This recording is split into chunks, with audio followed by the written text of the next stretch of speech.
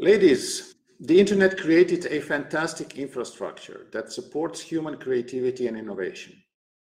As a network with rather inexpensive access and mostly free or advertising supported services, it contributed significantly to equality and equal opportunity between rich and poor inside of countries and globally.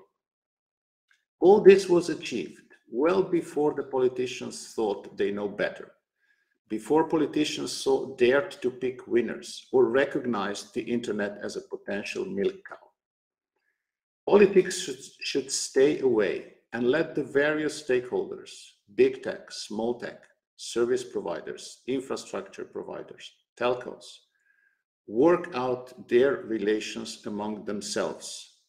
It has worked out in the past and it will work in the future.